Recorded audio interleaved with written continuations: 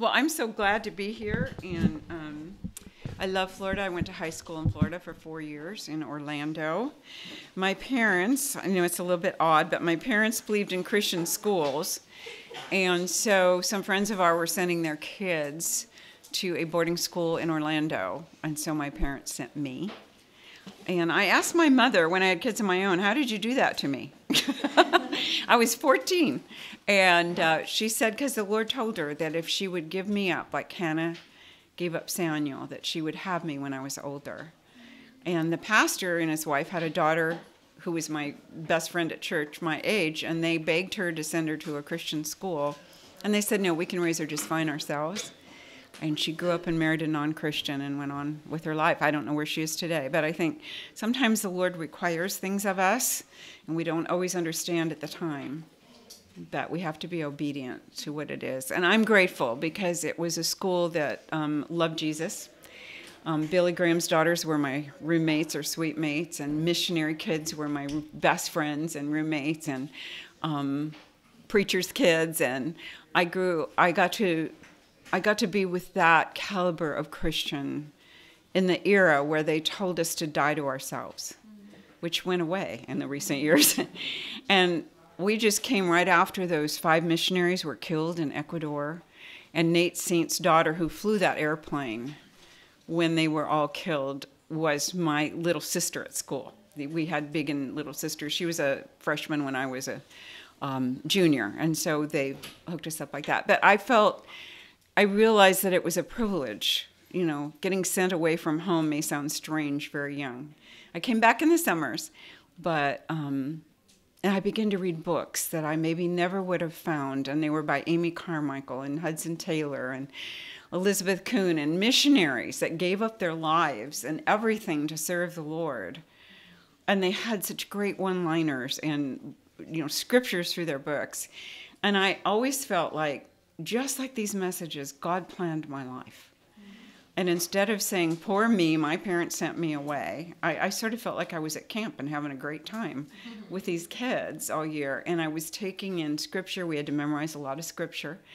And, um, and the Lord was teaching me things. And I thought, I don't know what I'm going to do with my life, but I do know that I'm going to need this for some reason. Then I, I grew up and married my husband, and he had been called into ministry, and I have needed it all my life. And the scriptures that have come back to me when I'm counseling women or writing messages have been key. And that's what I want to talk to you a little bit about today. I'm going to talk to you about, you know, how do we live as Christians in the world today? And my son, who's a pastor in, in California, in San Jose, Michael, he he wrote a sermon one time I was listening to, and it was, How do we live as Christians in Babylon? And I was thinking, That's what it is. And I want to say, How do we live as Christians in Babylon today?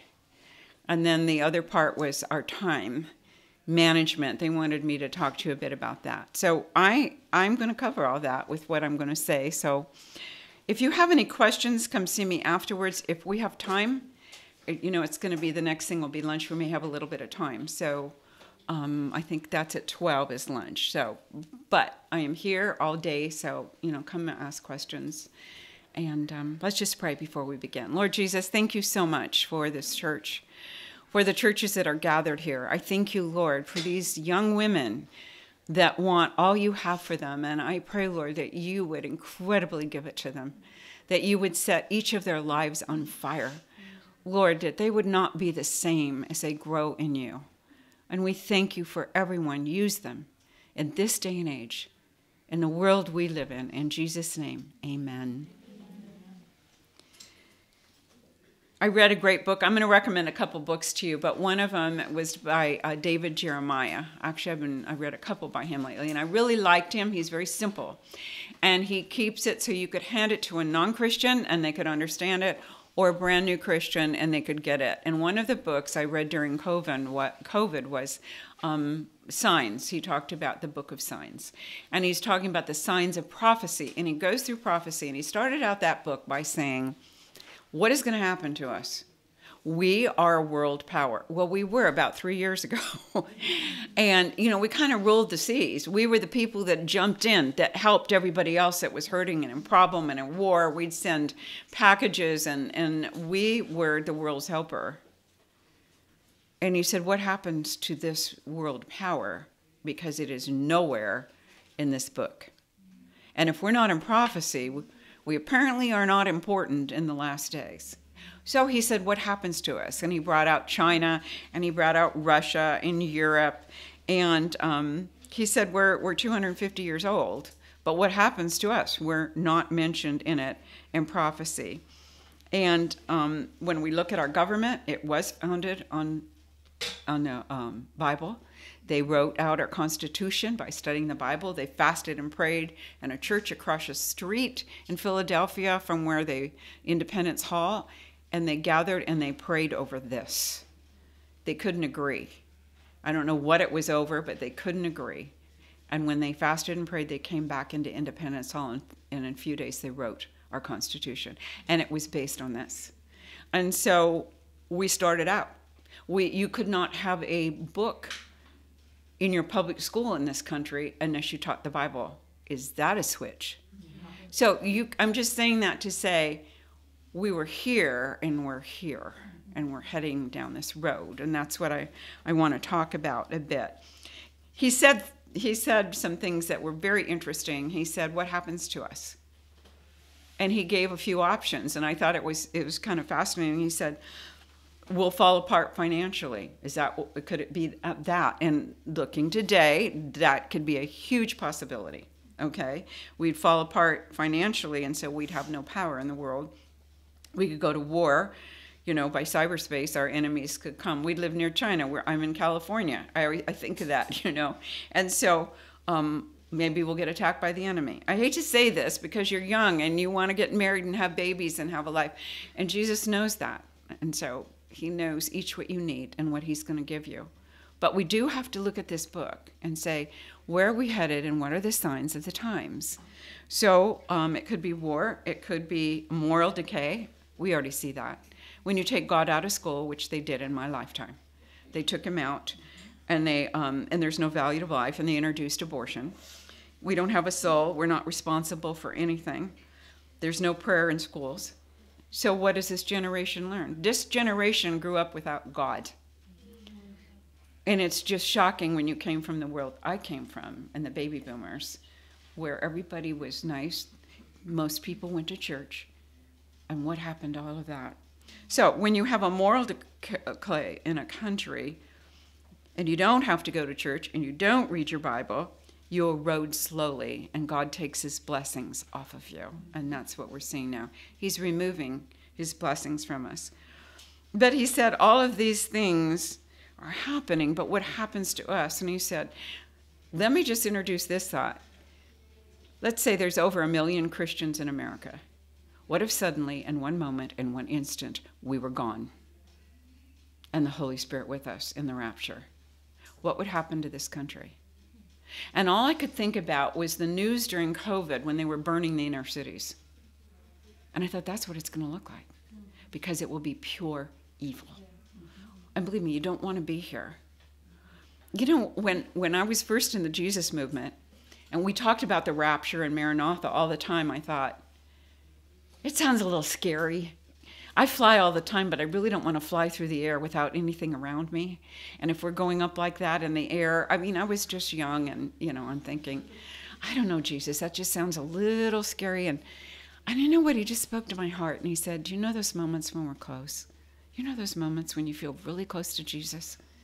He said it'll be like that and a thousand times better.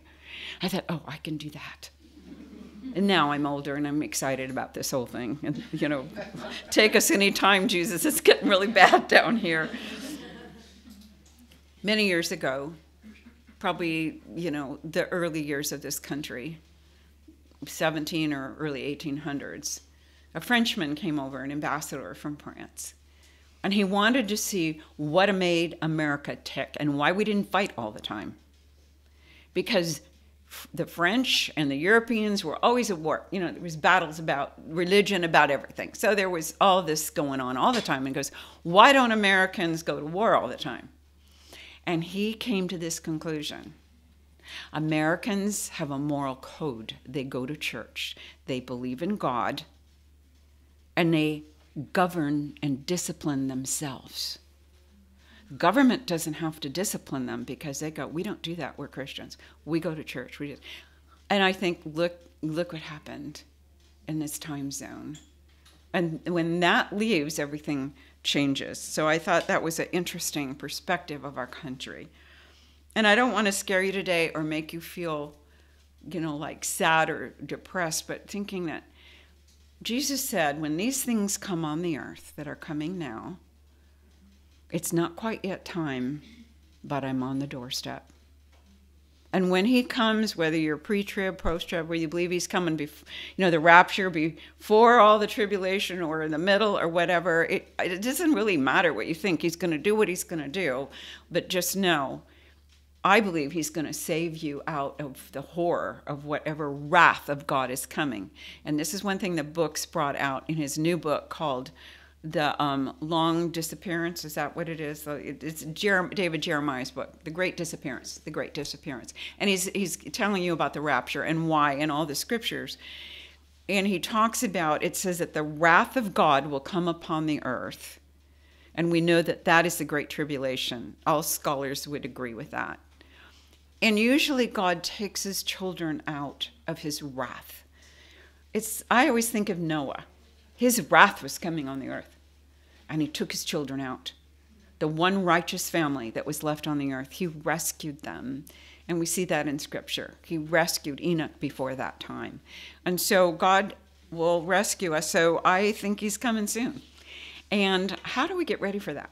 And what does that look like in our lives if he's just on the doorstep?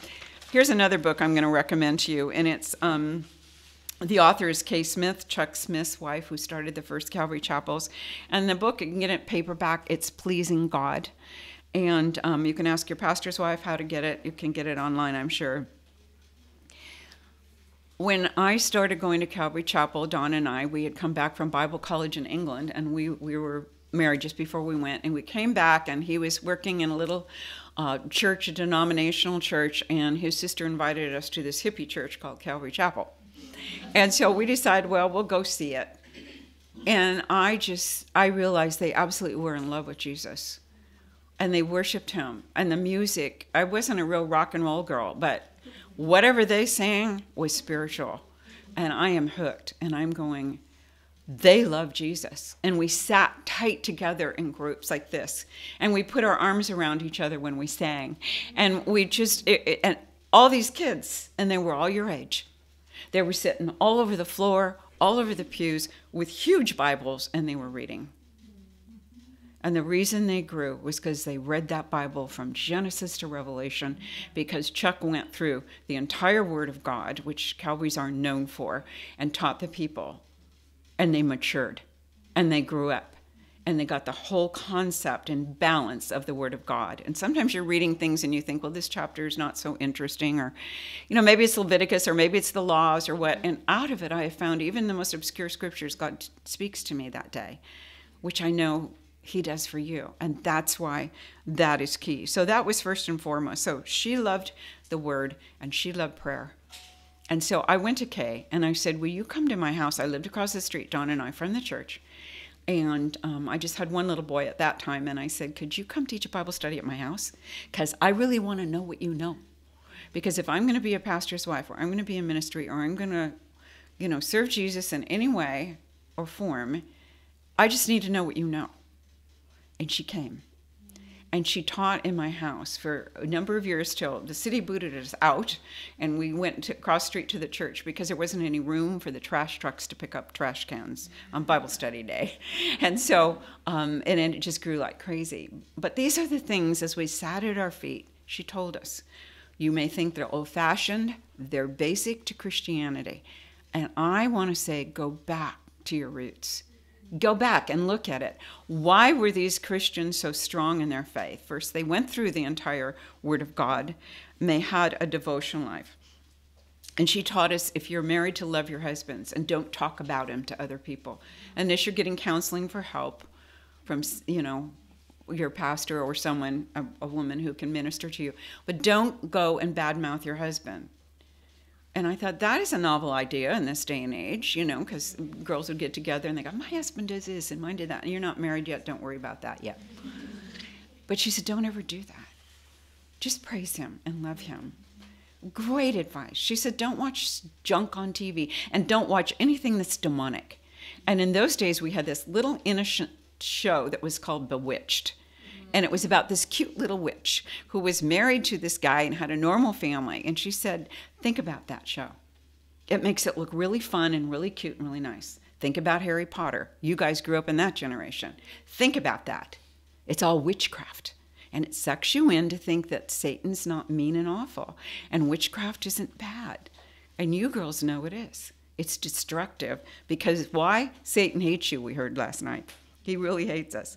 So she would just say basic things like that. She said, Don't live on soap operas. They're not good for you, they're just trash, you know. And um, she told us to dress modestly. Because we don't always think if we just especially if you just grow up in a female family with all sisters you don't think about how guys think. And they think different than you do. And if you dress immodestly you're causing these guys to stumble. And so she always said dress modestly as a christian girl and and so we took those things to heart because we were you know i wasn't but these girls here. They were all hippies you know and so they threw away their bras and they you know whatever and they dressed like ever and the short skirts that were and so she said don't do this. Don't follow the world. Dress sweetly and and modestly and the right kind of guys will marry you. And i'm old enough to know i've seen that a lot.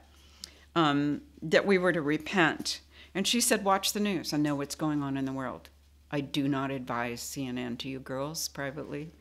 But, you know, I mean, I even watch Fox, but sometimes I have to tell you, it's just depressing. It's depressing. So I have to go pray about it.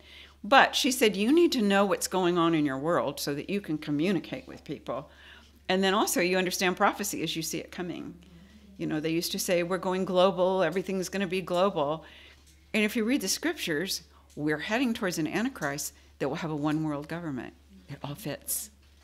It's like when you know the word of God and you know prophecy, it's like, oh my goodness, this fits. They're going to put a stamp on us, our foreheads or our hands. And it's going to be 666. Don't ever take that. Those people will not go to heaven. They have signed away their life. That's coming down the pike. They're already putting tattoos on your animals so you can find them. You know, as far as is is chips in them. This is coming. It's already here in your world. So as you watch this, you have to become wiser and wiser Christian women. Um, she talked about being loving, and I felt very loved by her. She her approach was always very very compassionate and loving. And another thing I learned was how to hear God's voice. And we learn that through the Holy Spirit and the baptism of the Holy Spirit and the gifts of the Spirit. And they begin to exercise the gifts of the Spirit, ministering to each other, hospitality, praying over each other. And those days there were absolute miracles. People receiving their sight. People that were supposed to be dying in the hospital came back and accepted Christ. And I could go on with story after story of the miracles. But we have that available to us today too. We have the Holy Spirit. If you have never asked the Holy Spirit to fill you and give you any gifts He wants, ask Him because He's just waiting. I always think, you know, back at the beginning, did God the Father, God the Son, God the Holy Spirit get together and they said, Who shall we pick to live in the last days? And they picked you. They picked your name. She will do. She will do this one. This one's going to be a leader for me. This one's going to be strong and witness for me. And then I think, this is just me, they're going to need help. Maybe Jesus is, was here and he went to his father and he said, You know, they're going to need help. We need a whole Old and New Testament for them. We have to leave them a book of directions. And then Jesus said, they need someone to help them understand it, so we're going to send them the Holy Spirit. Isn't that great? I think God's so perfect when He created this world, and you watch National Geographic and you see how did God do that? I think I have stupid ideas like, I think he created the giraffe because the trees needed trimming on the top. and then I think he he made kittens for our houses because he probably made lions and thought they were so cool. Let's make little little ones that won't eat people. That's just my mind. I have this inquiring mind. Okay, we're going to move on. I read a book um, that I, I, think it was it was by Anne Ortlund. She was a pastor's wife in Pasadena for years, then down at the beach in California. But one of the there was two words in her book that were important, and Kay brought this out in her book. And one of the words was concentrate, women. Concentrate, focus, focus on God's word, focus on your purpose and what you're doing, and eliminate.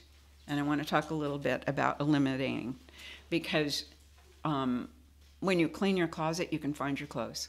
Have you ever lost stuff in your closet? Oh, it's horrible. If you you know if you don't want to clean, just turn on the hoarders for a little bit. I've turned it on for my husband. He said, "I can't take it. Please turn that off." I go, "No, it makes you just want to clean," and and and that's what I want to talk about spiritually. Get rid of those elementary things in your life that are not necessary, and not are important, and not distracting. You know, in the scripture, the Lord tells us to run the race and run it for the prize to win. And a person who's a runner gets rid of all the weight. Every they strip. That's why they wear, you know, little tank tops and, and silk shorts and lightest tennis shoes they can find, because they got to take off all the weight. And we gather so much stuff, not only in our closets, but in our lives, I asked my son, we were moving out of a house recently, and I told him to go get whatever he wanted. We had taken stuff out, and there was a few things left. And he said, I really don't want anything you have. And in the end, he took a pillow and some fake plants. And, and I said, Why don't you want anything? He said, I'm a minimalist. So then I had to go to Siri and ask her what that meant exactly. and so, so I, what, what they said, and um, it, it's first said it started with music and different things and artwork was a minimalist. But now it's in your world, and it's a word that's very popular. And what Siri said was, you have clear vision. You're not all over the place. You have a, isn't that apply to us as Christians? You have clear vision. And then um, you reduce mindless shopping, not only in the stores, but on the internet. Mindless shopping. And you get on that internet, and your devotions are history because you have just spent 30 minutes in the morning looking at something you're going to buy mindless shopping. Beware and be careful. Um, decluttering. You know, when COVID hit, I thought I need to clean my house. I have time. My sister-in-law called, and she she's a neat freak. I love it. I want to be her. And she, everything is in order in her closet and her drawers. She's always been this way. And she said, Jean, if you just clean a drawer a day, it'll be done. And I thought, I didn't do that exactly, but I thought, what a great idea in your life as a Christian. Lord Jesus, what do you want me to clean out today? What is in my life that is weighing me down, taking my time? Maybe it's worry. You know, I mean, I, I could go there. I'm worried about this and that, and, you know, feeling sorry for people, wanting to fix everything. If I could just fix, you know, all the kids when they were growing up. And whatever that is for you, maybe, maybe it's just something that's very time consuming. And the Lord says, get rid of it. And I think during that time of COVID, God separated the sheep from the goats because people that were serious about finding the Lord mm-hmm. came to church. And they said, The world's falling apart. I want an answer. And our churches exploded, a lot of them, because they opened. And it showed me that there are many people still left in this country that are hungry. You have friends that are hungry. And sometimes we don't tell them. You need to tell them. My sister in law had a best friend that she grew up with named Colleen. They went to high school and grade school together. And then my sister in law was going to Calvary Chapel. She was on fire for Jesus and the Jesus movement. And everyone was witnessing. You'd go to the beaches, Campus Crusade, we're going down the beaches witnessing. And so she began to be very concerned about her friend, who was not a Christian, but a very nice girl. And one day she said, Colleen, do you know what it means to be a Christian? And Colleen says, Yeah, you're a good person. No, Colleen, that's not what it means. You have to be born again. You have to ask Jesus to come in and be your Savior. And you know what happened? her best friend started crying. And she said, Why didn't you ever tell me this before? They're waiting for you to tell them. Many are, and we're just shy about it. But don't be shy anymore. There's no time to be shy. We need to, to reach out. I was at the airport a while back, and a couple in front of me in the coffee line were talking intensely. It was a married couple. And they were waiting for a coffee and they had the suitcases, but something was wrong, really wrong, and I just knew it. So the husband took the bags and went to sit down while she waited for her coffee. And I just looked at her and I said, Are you okay? I don't always say that with people. And she said, No, we're not. We have foster kids, and the judge is going after them. And if they go back to the mother, it's going to be really bad. I just figured it was a drug situation or something. And she said, And the judge is deciding today. So we went to Disneyland yesterday just to get our mind off of this because they were in Southern California.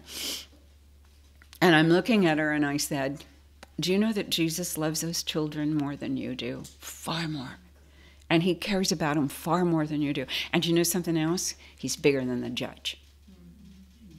And he can take care of this. And she just broke down. And it was so funny because she says, Who are you? and then she said, Can I hug you?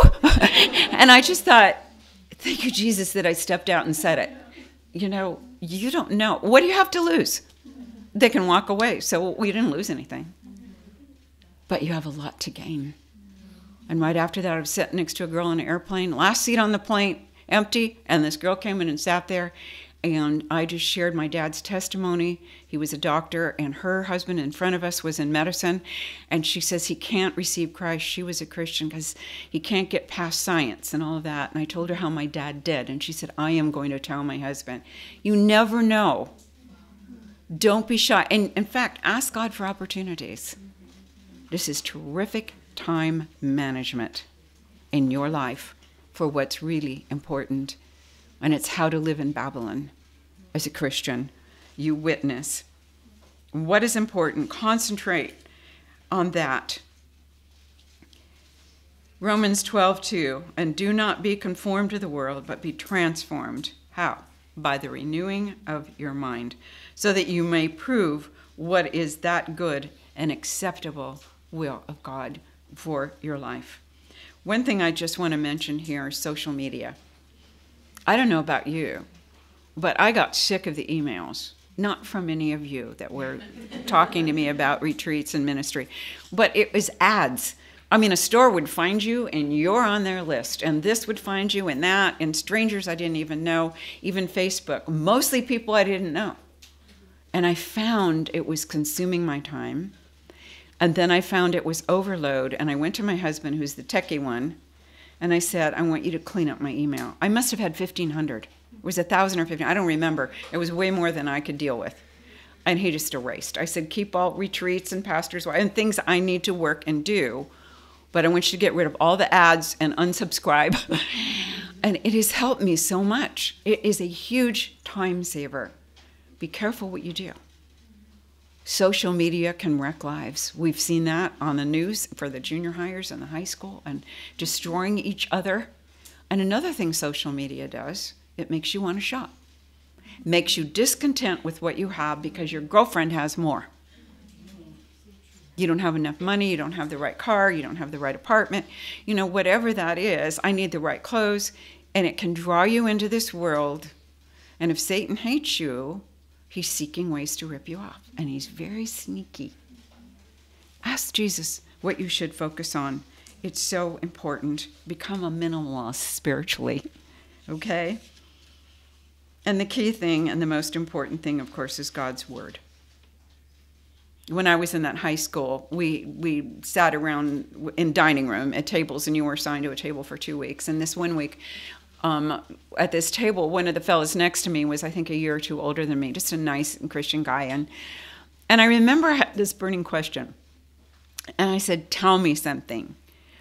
Why is it that people get born again, get saved, come to Jesus, and you see them three months later and you would never know they were a Christian? And why is it somebody else gets saved and they're down the road ahead of you spiritually. They are on fire for Jesus. I said, What happens here? Why is that? Later, when I was really studying the seeds that fell into the different kind of grounds, when Jesus gave that parable, it really explained it to me. But on that day, I needed, as a sophomore in high school, an answer. And this is what he said, and I'll never forget it. He said, It's easy. Those that have a devotional life grow and those that don't, don't. And I'm old enough now to know that is exactly true.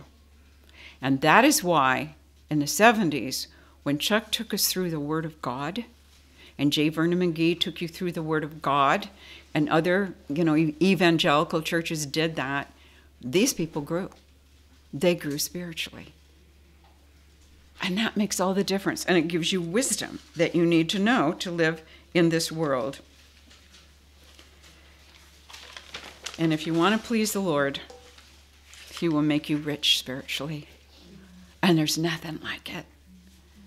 I remember I had a sister in law, not the one I was telling you about, but another one. She loved nice things. She loved jewelry. She's a hoot.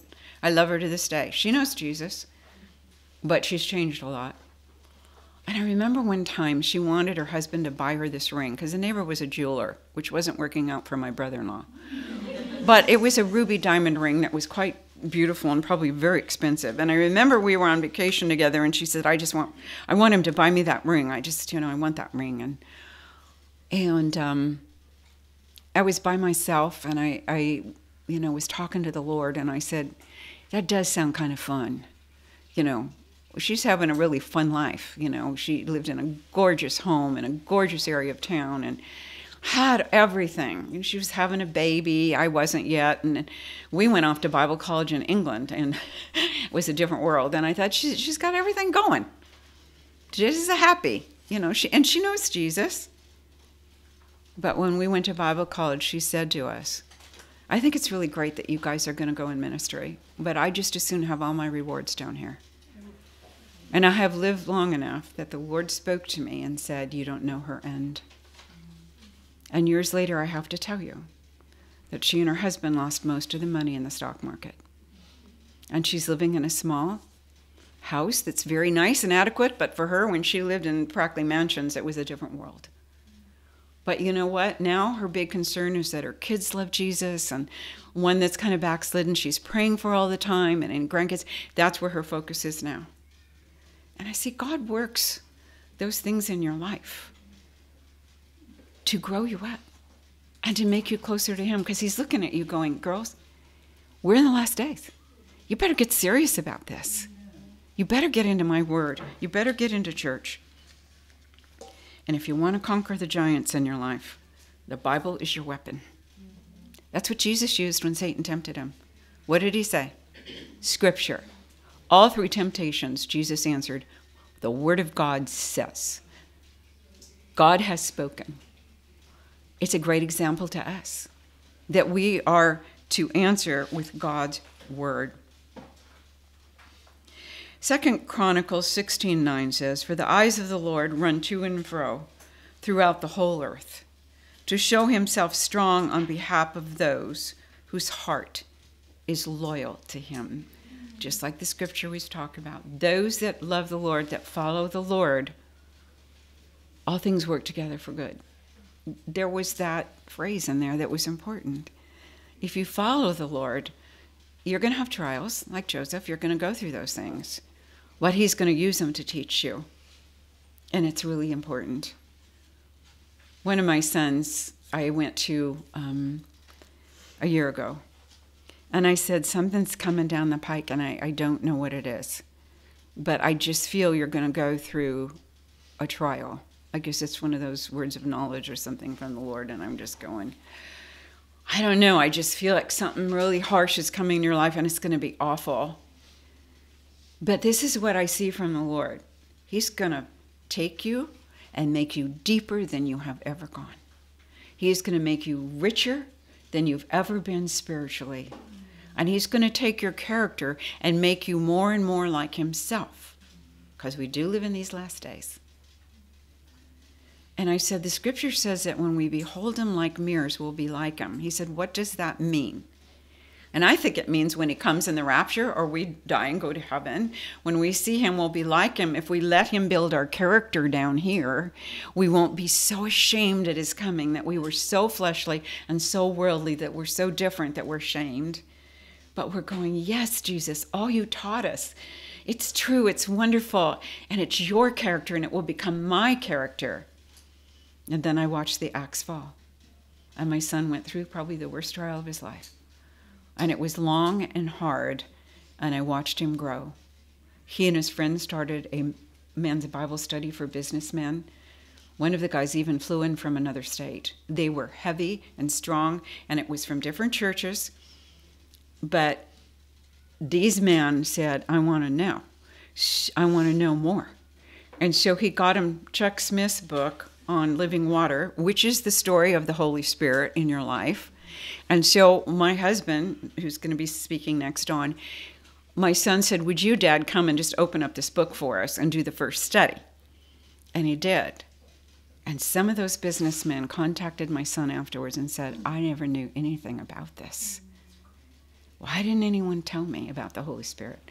So, those are the times we live in. And people that are hungry are really hungry. And when we go through those hard things, because God's using it.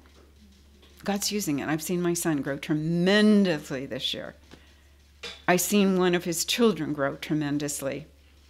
He has a little girl, and she's nine, and um, I, you know, known her. I used to take her as a baby in my arms, and I used to say what Kay Smith told us that the Jewish women say to their babies when they're born. They take them in their arms when they first start hearing, and they go, Jehovah is God.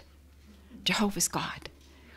And I used to take Madison to the window, and we have a, a, a big window in our house looking at the garden, and I would hold her in my arms, and we'd look at flowers, and I'd say, Madison, Jesus loves you. He loves you. And, and her mom, the parents let me sing her goodnight because they lived in our house for a few years. They were saving up for a house. And, and so I got hold of Madison. And I go, God put her here for a reason. And I thought, she needs Jesus. And one day she was three years old, three and a half, and I was taking her for a walk. They were moving out to their own house. And I thought, I just wish she'd accept Jesus. And I'd said to her before, You want to accept Jesus? No. She didn't know what I was talking about. So on this day, it was as clear as crystal. I felt like the Lord said, Now, ask her now. I said, Madison, she's in this little pink cart in front of me. Do you want to ask Jesus in your heart? Yes, I do. okay. So we prayed. That kid changed. Where she was, you know, a little ornery at times, she totally began to change. Uh, it was incredible to watch this. So a week or two ago, a couple weeks ago, she was at my house because I take the kids once in a while and it's so fun. So her brother's asleep in one room, he's three, and then her sister, who's seven, is asleep in the next bed. But before those two girls went to bed, I have twin beds in there. She said, Tell me a Bible story where I do that. She goes to Christian school, so a lot of times she says, Oh, I know that story. And I thought, ah, I like that Christian school she's in. And then I said, Let's talk about the Ten Commandments, because I was watching people in this world fall. They don't think anything of white lies. There's no white lie, okay? They don't think anything of lying. They don't think anything of cheating on their husband. They don't think of all of these things that the Ten Commandments tells you not to do, or being unkind or gossiping or all that. And I brought out swearing too. She says, "Oh yeah, I thought that was in there."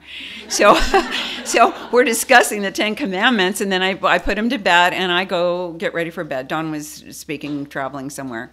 I came down the hallway, and she's in the bathroom and I can tell you this because you're all girls. She's sitting on the potty. I said, What are you doing? The light's on. She says, I'm pooping and praying. I go, Okay, Madison. Don't tell her I told you this when she grows up. And don't mention it at her wedding either. So she's just funny. And so I said, What are you doing? She said, Do you want to know what I'm praying about? I said, Yeah, I would like to know what you're praying about. She says, I'm asking Jesus to never let me fall away from him. She's nine. I went, she got it. She understood the Ten Commandments because I had said, if you follow these, God will bless your life and your children. But if you don't, you're going to have a rough life. I know people who don't, and they're just constantly in trouble And so she said, I don't want to fall away. And I thought, tell the kids, tell the neighbor kids, tell your nieces and nephews, and tell your children when they're born. They're never too young to talk about Jesus. And a child is far easier to win than an adult. They're not so set in their ways. And get them in God's word when they're young. It says to talk about them when you're on the way. You know, whether you're walking or in bed or whatever you're doing, talk about Jesus to your family and to the children. He said to Joshua in Deuteronomy 6, You shall talk about it when you sit in your house, when you walk by the way, when you lie down, and when you sit up. And I put, and when you ride in your car. It's a great time to talk to the kids about the Lord, to teach the children how great God is. Not only read it, meditate on it. Meditate on God's word.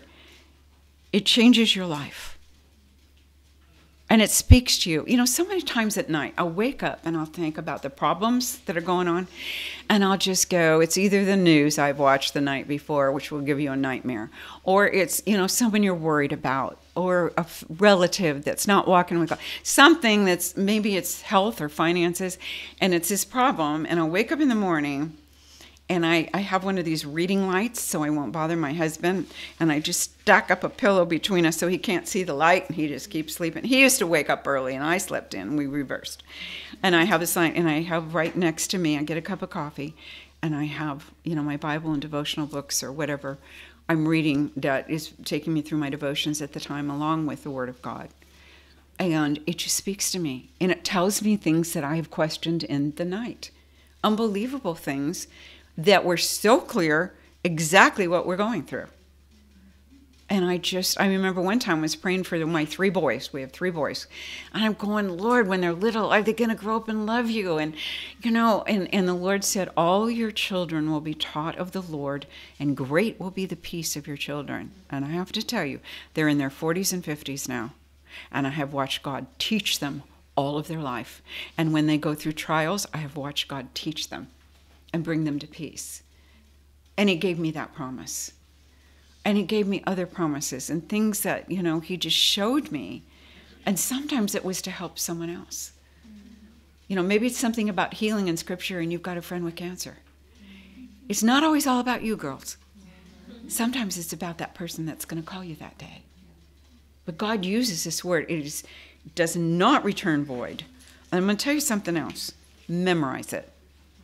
My dad was 90 years old, and he said he was memorizing scripture. He was brilliant. He was a doctor. He didn't have any Alzheimer's or problems with his mind at all. And he just had congestive heart failure. And so he said, I'm memorizing it now. and he had grown up in Calvary and, and, and, he was getting the word and he, he retired and went to Calvary Chapel. And he said, For the first time, I'm getting to sit through the whole word of God like in a year. Chuck would go through. He said, I'm just loving this.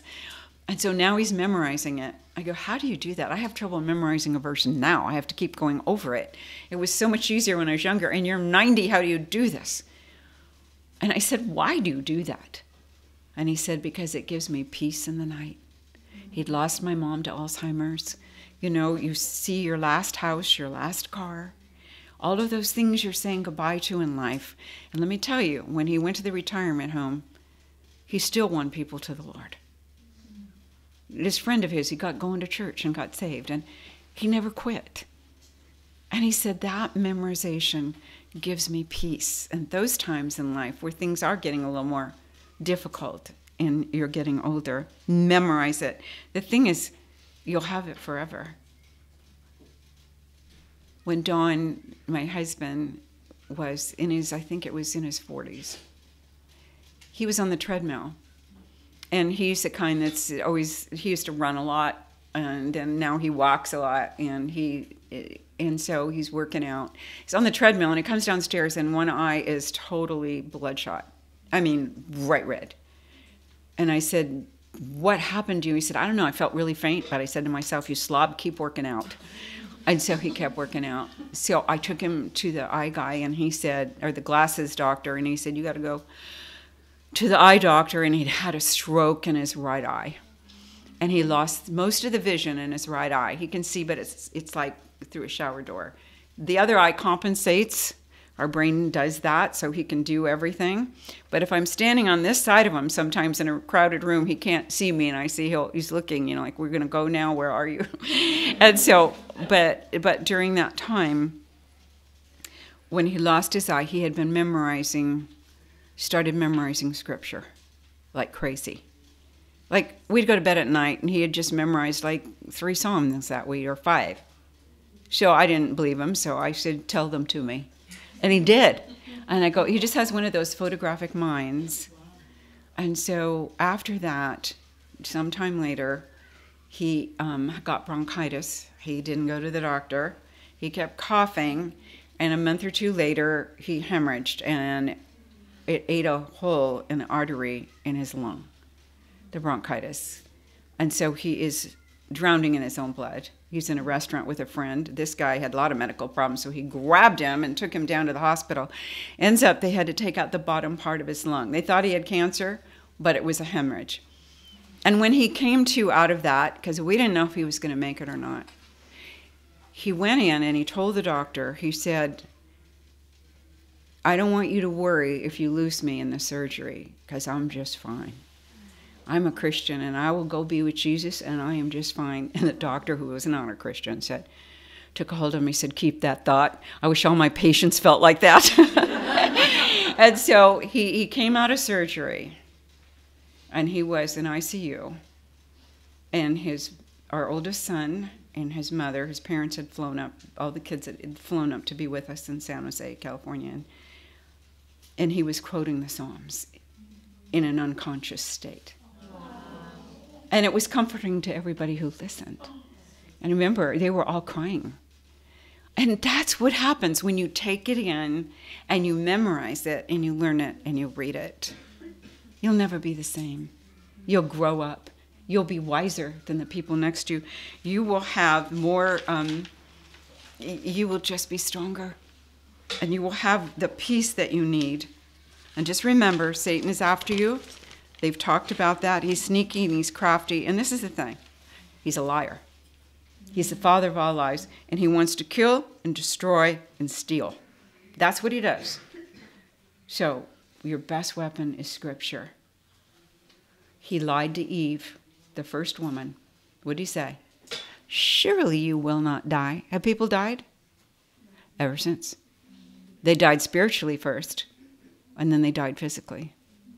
So he's a liar. So ask for truth. This, this is a world today that is woke. And woke is lies. It is whatever you want it to mean. I go, what does that mean? When I went to school, it's like, this is what this is, and this is what the dictionary says, and this is what this is, and this. And so I had to listen to someone speak on woke to know what in the world woke is. And he said, it's just really whatever you want it to be. And so to me, that just says lies. You can tell any lie you want and say, this is truth and it's not. And this is the thing God is the Father of truth. God cannot lie. Satan is the father of all lies, and that's all he does. And you know that when you get into God's Word and you read it. It's important. In this world of worldliness and greed and lies, the scripture my dad taught me as a little girl, and I've never forgotten it, was in 1 John 2.15. And I thought through the years it was a great verse to teach a kid. 1 John 2.15, Love not the world, nor the things that are of the world. For if you love the world, the love of the Father is not in you. Truth. Pretty clear. So we're going to be minimalists and we're going to focus more on what is important in life. Amy Carmichael, one of those great writers, if you ever get her book, she has great one liners. She was a missionary to India. She never left. She was there, I think, 50 years. She went as a young, young person, and she gave her life for orphans and for kids and saving them in her ministry. She said in one of her books how terrible it would be to live an ordinary life content with ordinariness, to be busy here and there, and to lose the thing that was committed to me. When God made you, He committed you to this era. And this is what He says, and, and this was He made clear to me years ago. You're living in the last days. And I was at a time where I said, just tell me in this ministry, this church, you want me here one more time, because it was one of our more difficult churches to work with because it was 8 million in debt when we took it and it was just all these problems with different denomination and so Chuck sent Don up to help this church. And and people were leaving. It was 5,000 people years ago. It went down to 350 people and half of them left when we came. And some of the Christians that came to visit said, "Let us know when you fix this place. We'll be back." And so I'm just going, you know, what is wrong with you people? we came to help you. And just you walk out to that, just like so bad. And I was really sad that Sunday, and I didn't want to talk to anyone after church because I didn't want to be a bad witness as the pastor's wife. But I was really sad. And so during the last prayer, I snuck out and I went home, and I had this little rental, and I, I put on sweats and I just sat in front of the fireplace and I said, Jesus, tell me one more time you wanted us to come here, which he very clearly had showed us. It was in the Silicon Valley. And the Lord began to speak to me and he said, Do you remember when you were in that high school at 15? Yeah. And I asked you if you'd go anywhere I wanted you to go. Like I thought of India and Africa. And I said, I don't think so. Because I'm not really fond of mud, mud huts and bugs. And India, they don't eat cows, and I like beef you know, and all of these things. And you need to be a British citizen to get into India in those days, you know. And I, I, I just even wrote Amy Carmichael's organization to see if I could ever go there and work as a missionary. And they said, You have to be a physical therapist to get in right now. And I wasn't good at chemistry, so I thought, anyway, Lord shut that door. But at that time, he said, You remember when you're 15? And the Lord came to me, and I said, No. And then finally, my girlfriend was praying for me because she was going to be a missionary, and she was praying I was going to be one. So I just went, Lord, let's talk about it, okay? Because you know I don't want to be uncomfortable. And I've seen now, I've been to Africa, I've seen the mud huts, and I've seen what people live with, and I've seen India. It's jam packed with people and idols like you can't believe. And I've seen those places in the world. And I, I go, Lord, you know, that that isn't fun. I, I'm 15. I just want to have fun, okay? And then the Lord showed me a picture of myself, and He said, When you were born, What'd you bring with you? And I said, Well, nothing. Naked you come in the world, naked you go out. I didn't have any money because I didn't have a purse when I came. I didn't have any friends. I didn't even bring any clothes with me. And the Lord spoke to me and He said, And that's how you're going out. When I take you home, the only thing you will take with you is me. And I think of the souls you witness to and lead to Christ. And then he said this. I love it that, that God asks questions. Go in the New Testament and read the scriptures where Jesus asked questions. I just love it. And he said, Now, what do you want to do with your life? And I remember thinking if I was the richest woman in the world, Oprah Winfrey or Queen Elizabeth, I would never be as happy if I was outside of God's will as I would be in His will. And I somehow at 15 knew it. And I said, okay, I'll go wherever you want me to go because I know I'll be happy if I'm with you. So now in this church, years later in my 40s, Jesus is saying to me, I said, Do you really want me to stay here? This is so difficult. And he said, What happened to you? Remember what you said at 15? What happened to you? And I realized, and I told him, I got soft. I was used to a big church in Southern California, two cars in the garage. We even had a swimming pool in the backyard, and a regular paycheck. This church, we're not taking any paycheck for three years. And God put food on our table. It was incredible. We'd have to spend money on something, and a check would arrive from a church for the exact amount. It was great for my kids to watch this. They went, "Oh my goodness, God is so real. He'll do this," you know. And um, and this is what he said to me, and this is my last words to you, because you're going to lunch. You are living in the last days, Jean. The end is coming soon. I am coming soon. And you are in my army. This is serious spiritual warfare. And I have called you to be in my army, so you better suit up because we're going to war. And I'll never forget it. And I think we need to rise each day, Lord, suit me up. Like you put your clothes on, say, Jesus, cover me today with your armor, with you, with your Holy Spirit, and let me go out and do the thing that you've committed to me. To live in this day and age, to know your word, to witness to people, to be bold, and to love people. And let me just say this I read this in one of the missionary books. Loving folks is the only way to win them. Don't tell them you're going to hell in a handbasket. They're not going to like you.